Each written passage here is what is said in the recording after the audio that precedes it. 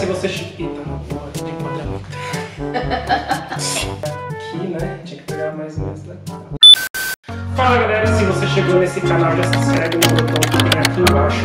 E hoje, como a gente prometeu, a gente vai falar por que a gente não vai mais Para Portugal. Muita gente deve estar perguntando como que vocês vão. Como assim vocês não vão mais para Portugal? Mas vocês iam para Portugal? Não tô lembrado não. É, a gente nem tá sabendo. No começo do ano, final do, do ano passado, para esse começo de ano, eu recebi uma proposta. Não sei se vocês sabem, mas é, eu trabalho na área de TI, computação, né? A Fernanda é enfermeira. E eu recebi uma proposta, e essa proposta era para trabalhar em Portugal. Então eu aceitei a proposta deles e comecei a fazer o processo de visto. Como faltava, eles deram um prazo de três meses pra gente, então a gente sabia que tinha muito tempo ainda pra frente, a gente tinha que tirar os vistos ainda. Todo esse Muito, né? Que não é muito, três É. meses. Na verdade voa, voa muito rápido, É. né? Os três meses. Eu tava pesquisando casa, apartamento lá, tudo pra, pra irmos. Exatamente. Vendendo as coisas de casa. E assim, o processo de visto foi, foi uma coisa bem tranquila, na minha opinião. Tem bastante documento, né, para você preencher. A gente teve que mandar para um, um lugar que chama VSF, que faz esse processo pra gente. Como tava na, é, a pandemia estava ativa ainda, a gente só reuniu os documentos, colocou no envelope e enviou e ficou aguardando a posição deles. Precisei abrir uma empresa, essa empresa para poder prestar serviço enquanto eu estivesse aqui no Brasil, né? E quando eu chegasse em Portugal, eu ia mudar o processo. Então eu não usaria mais empresa, trabalharia com o processo de recibos verdes. Então foi isso a questão do, é, do visto, né? Eles ajudaram bastante, praticamente era seguir o que eles falavam e reunir os documentos, tirar xerox de um monte de coisa e enviar para eles. Quando chegou lá, teve alguns documentos que ficaram faltando. Eu acabei enviando passaporte meu, da Fernanda, Todos. de todo mundo. É. E na verdade não precisava, só precisava do meu passaporte, porque eu estando com, passa- com visto né, né, de Portugal lá, elas, Nós íamos com o visto dele. elas iriam com o meu visto. E chegando lá, a gente faria uma- um processo que chama reagrupamento familiar. Qual é o visto que você. Qual é o seu visto? que era o visto D2 que chama, que é um visto que você pode tem a permissão de trabalhar enquanto estiver lá.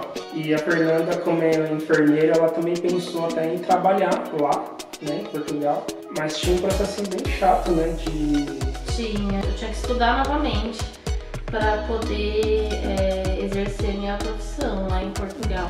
Então eu teria que fazer mais uns dois anos aí de, de faculdade para poder trabalhar como enfermeira em Portugal. E o meu histórico daqui não é o suficiente para eles, então eu tinha que. Tem um nome que eles falam lá. equivalência, né? Isso, eu teria que fazer uma equivalência para poder trabalhar como enfermeira em Portugal. Vamos falar de questão de, de casa. A Fernanda acho que pode até falar melhor do que eu, que ela pesquisou muito. Muito. eu pesquisei, é, eu baixei um aplicativo que chama Idealista e aí nós começamos a procurar por lá. O Johnny fez um programinha para vermos onde tinha escolas mais melhores, né? Onde não era muito frio, porque eu não gosto de frio. Então ele foi pesquisando os locais e eu fui pesquisando os aluguéis lá, né? Pesquisei muitos, a gente já tinha até alguns em vista para poder, para chegar lá já, já, já poder ir ver os imóveis. É, e os imóveis lá é engraçado, que lá, por exemplo, pra você saber que tem dois quartos, é T1 ou T2, né? Dois quartos é T2, T1 é um quarto só. Banheiro é casa de banho. Banheiro é casa de banho. Fernanda pesquisou muito, achou uns legais, tem bom gosto. Tem mesmo. A gente viu que a média, assim, na região que a gente viu, tirando Lisboa, porque a gente é, não pretendia morar em Lisboa, tem um amigo nosso que já morava em Lisboa, inclusive ele já saiu de lá. É, a gente gosta de cidades mais tranquilas, né? E Lisboa é uma cidade muito agitada, né? Por ser um ponto de referência de Portugal, né? Sim. Todo mundo vai visitar, que vai para Portugal, vai para Lisboa. Então a gente queria um lugar mais tranquilo, a gente gosta de lugares tranquilos, não badalados. E ainda a gente queria um lugar é, que não fosse tão frio. A gente sabe que Portugal é mais frio que o Brasil, claro, né? Mas a gente queria um lugar mais quente. No começo, quando a gente estava né, nessa ideia, né, tinha recebido a proposta, já aceitei, saí do emprego que eu estava e fui, a gente ficou sonhando muito com Algarve, né? É. E Algarve é uma cidade assim, parece maravilhosa. Na verdade não é cidade, né? Lá eles chamam de conselho. É. Lá é dividido por conselho e distrito. Diferente daqui, né? Que é cidade, estado. Então a gente viu o Algarve, a gente gostou muito, porque tinha praia. Eu adoro praia, Fernanda nem tanto, mas se pudesse morar na praia seria um sonho. E lá é o lugar, vamos dizer assim, um dos lugares mais quentes assim de Portugal também, que o clima é parecido com o de São Paulo. Sem contar que é lindo, né? E é lindo. É muito bonito. Então a gente via as fotos, assistimos um monte de vídeos, Os pesquisamos. pós os contras, né? Nós vimos, porque a gente dá preferência para um lugar. A gente tava dando preferência para lugares que tinham hospitais próximos. Verdade. é, que pudesse ter escola próximos, mercados, as coisas mais Comercial. próximas, né? Porque de início nós íamos ficar sem carro. Então a gente já estava pesquisando para poder fazer tudo Próximo. próximo, é. A gente via que o Algarve era uma opção, mas tinha um problema, né? Por mais que eu estivesse trabalhando e trabalharia em Portugal de casa, né? Por conta das restrições, se eu precisasse ir para o escritório era muito distante e eu tinha opções de trabalhar ou em Lisboa ou no Porto. Então a gente ficou muito nessa. Não sei se vai dar Algarve. Algarve é muito bom, um sonho para morar, mas para o trabalho talvez não, né? E assim, Algarve pra gente tava ótimo, porque é um lugar que a gente gostou bastante, é um lugar muito bonito e os arrendamentos de lá é, eram bem mais em conta, praticamente quase metade de Porto e, e Lisboa. Lisboa. E outra, Algarve mais quente, os apartamentos por um preço menor que Lisboa e mais novos, né? Grandes, é, grandes, mais novos, bem, bem bonitos, bem legais mesmo. O único problema de Algarve que é a distância de estar, a distância dos, dos, dos centros né, de Lisboa.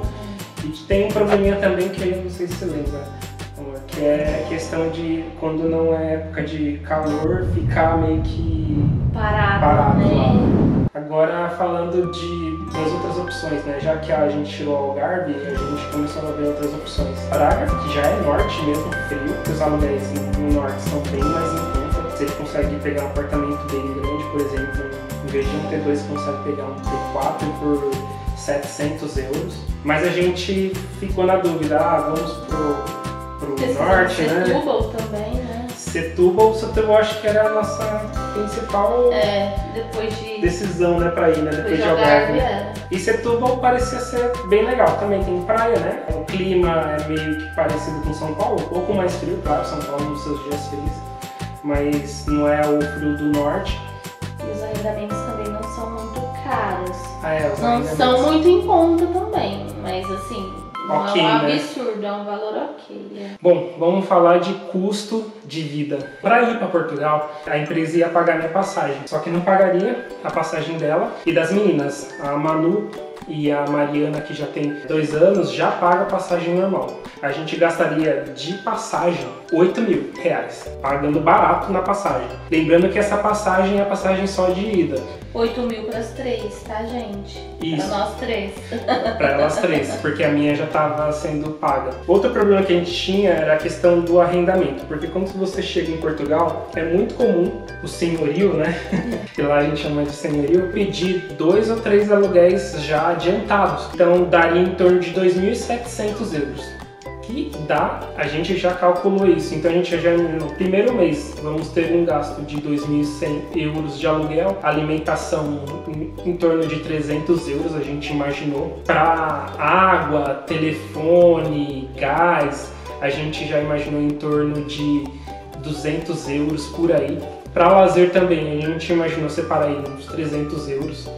A gente ia chegar em Portugal, a gente já não ia alugar uma casa de primeira, né? A gente ia pagar um Airbnb. O Airbnb a gente viu ali, a gente pagaria ele para ficar um mês, mais ou menos 800 euros.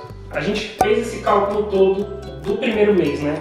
colocando aluguel, três meses de aluguel, alimentação, lazer, água, telefone, internet, Transporte. transporte, as coisas que você precisa comprar talvez para casa, você já chega e vai precisar de uma, pelo menos de uma cama, de um sofá, Geladeira. geladeira, Fogão. máquina de lavar, É. talvez aquecedor porque lá é frio e o Airbnb. Tudo isso deu magníficos 7 mil euros, dá 42 mil. Teria que vender o nosso carro, entraria para pagar essas despesas do primeiro mês em Portugal. É. Não entraria para a gente já comprar um carro lá, por exemplo. E assim, a gente avaliou o nosso custo, né? Isso aí é do primeiro mês, né? 7 mil euros. Depois, no que a gente se estabelecesse, a gente imaginou que o nosso custo rondaria entre 1.600 e 1.700 euros. Pesa em Portugal são os arrendamentos, Sim. que é, são muito, muito, muito caros. E assim, 700 euros a gente está falando é, de, um, de um apartamento de dois quartos, um apartamento bonitinho. Porque você acha apartamento lá de 500 euros, 600 euros, mas às vezes é, é ter um, é um quarto, às vezes tem que fazer muita coisa, o apartamento tá destruído, sabe? Então, assim, 700 euros é para um apartamento ok. Se você quisesse um apartamento com mais quartos, um aparta- apartamento mais bonitinho, varia aí de 850 a 900 euros. E aí a gente já puxa para um motivo por que que a gente não foi. O salário que eu receberia em Portugal daria pra gente se estabelecer lá. Então assim, dá pra viver, dá, mas você não é um, não é um lugar que você vai para você enriquecer. Não é um lugar que você vai para viver seu sonho americano. É um lugar que você vai ter segurança, você vai ter escolas boas, né? Sim. Mas você não vai enriquecer. Teria que ganhar mais para você ter uma vida mais confortável. É uma cultura nova, né? É um lugar novo. É... Seria tudo novo pra gente. É um aprendizado a mais que nós iríamos ter. Sim, eu e acho. para nossas filhas também seria muito bom, porque as escolas lá, pelo que a gente pesquisou, são muito boas e públicas, né? O nível das escolas públicas de Portugal é tão bom quanto as escolas privadas daqui. Daqui. A questão da segurança é um país muito seguro, é um dos top 10 países mais seguros do mundo. Então, assim, questão de segurança é um lugar que você vai, que você pode ficar com seu celular na rua, você pode comprar seu iPhone 13, 13 Pro. Pro Max.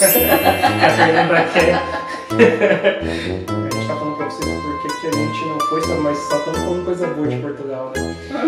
Mas a gente ainda possa ir, mais pra frente a gente tem essa possibilidade. É, na verdade, a gente pensa em ir pra fora do Brasil. Então os pontos fortes de Portugal são é, é um dos países mais seguros, que nem a gente falou. É uma oportunidade internacional, então é, é algo que seria muito legal pra gente também. Você ganhar em euro, que é, em euro, né, que é uma moeda muito forte, é muito boa. As escolas públicas que são boas, eu acho que é um diferencial também. E a possibilidade também de você viajar e conhecer outros países europeus, porque você está em Portugal, você pode ir ali na Espanha, você pode ir ali na Itália, né? O que que fez a gente pensar em ficar aqui por enquanto? Primeiro, é, tem uma questão que acontece nas escolas em Portugal, que é a questão da xenofobia. A gente não vai mentir para vocês, existe isso, né? Meus amigos é, que estavam lá viram alguma coisa do tipo. Não é tão comum, mas acontece isso de ter xenofobia, que é as pessoas é, discriminarem brasileiros ou povos de outras nacionalidades. Outro problema seria que a gente gastaria nossas reservas para mudar. É, nós tínhamos se conseguíssemos vender o carro, né? Sim. Aí nós iríamos mais tranquilo, porque pelo menos o dinheiro dos arrendamentos, pra gente começar, um- pelo menos um ou dois meses, a gente já teria esse dinheiro. Aí não precisaria mexer no reserva. Mas como nós não vendemos o carro, nós não teríamos esse valor. E além disso, apesar de ser o salário em euro, o salário é limitado para a vivência que a gente teria lá em Portugal. A gente viveria bem? Acredito que sim, só que não seria também aquilo que ia sobrar tanto dinheiro que talvez eu pudesse fazer reservas, É. mandar para o Brasil, que acho que é isso que a gente também pensava. Tem um quesito também que é ficar longe da família, né? É, nossa família está toda aqui no Brasil. Então, esse também era um quesito que a gente pensou bastante. Mas tem um principal, que é a questão também da guerra que está acontecendo. A gente sabe que é longe de Portugal, né? Essa guerra que está acontecendo entre a Ucrânia e a Rússia. Foi uma coisa que deixou a Fernanda extremamente insegura, né? Então a gente tem uma regra aqui que a gente precisa, quando a gente vai decidir alguma coisa, a gente precisa saber se todos da família estão confortáveis. E a Fernanda não estava tão confortável com isso, somado mais essa questão de que a gente tinha que gastar nas outras reservas, a gente pensou o seguinte: bom, a gente não quer mais morar em São Paulo, a gente não queria morar em São Paulo, fala. Eu gosto de São Paulo, tá? É, São Paulo tem acesso a tudo, você consegue entrar em shoppings enormes, tem eventos você acha de tudo, parques, tudo. E... Na verdade, a gente estava procurando mais a segurança mesmo. Eu queria um lugar que eu pudesse sair tranquila, que as minhas filhas pudessem curtir a infância, sabe? Lá em São Paulo, é, a gente tem todas essa, esse, esse, esse leque de, de coisas que o, o Johnny falou, mas a gente não tem segurança para sair. É, realmente, parque de segurança é uma coisa assim que faz muita gente sair do Brasil mesmo, de São Paulo principalmente também. Então tem uma frase bem famosa que é de Dom Pedro, que ele fala assim: Se é para o bem de todos e felicidade geral da nação, eu digo que fico.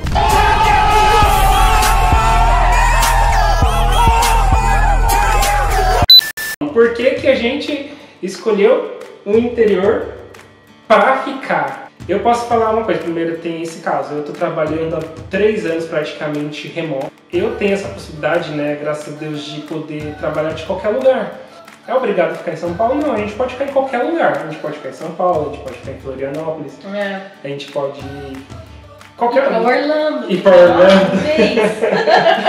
Dá para fazer isso, entendeu? É possível. Então a gente falou, bom, para onde que a gente pode ir? A gente quer reduzir essa questão da, da segurança, né? Então a gente escolheu o interior de São Paulo, tem várias cidades aqui. A cidade de Marília é uma cidade pequena, mas é uma cidade que tem tudo. Aqui é uma cidade ótima. É, tem escolas boas, é, pagas, né? Públicas não tanto. Sim é, você tem a segurança de poder ir e vir. Então, é, eu tenho a segurança de ser com as minhas filhas sozinhas, entendeu?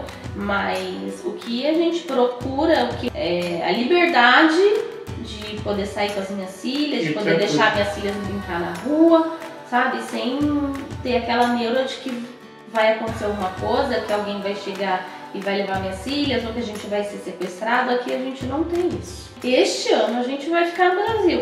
Ano que vem, não sei, a gente pode ficar aqui ou a gente pode ir para o exterior. Então é uma coisa que ainda a gente tem em mente. Então, acho que assim, a oportunidade de estar aqui é continuar a aprender o inglês, né? Melhorar o inglês, é, né? É. Quem sabe, a gente não sabe.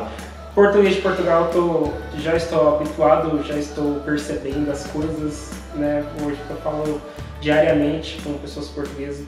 Aliás, trabalhar português é, é, muito bom, o pessoal é muito, muito legal, eles me acolheram muito né? receptivos e sempre estão chamando a gente para ir para lá. Valeu a pena a gente tomar essa decisão agora, a gente tem tempo de se planejar melhor e quem sabe em um futuro mais para frente a gente resolve. Então é isso, galera. Se vocês já tiveram essa oportunidade de ir para outro país, decidiram ficar, comenta aí, deixa nos comentários, a gente também quer saber. E se vocês quiserem algum outro vídeo com alguma curiosidade, como que foi o processo para a gente fazer o visto em detalhes mesmo, como que a gente chegou aos cálculos de custo de vida em Portugal, é, deixa aí nos comentários, tá bom? A gente vai ficando por aqui. Um beijo, um abraço e...